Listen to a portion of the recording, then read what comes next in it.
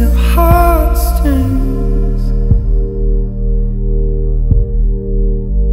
Follow your thick boys on.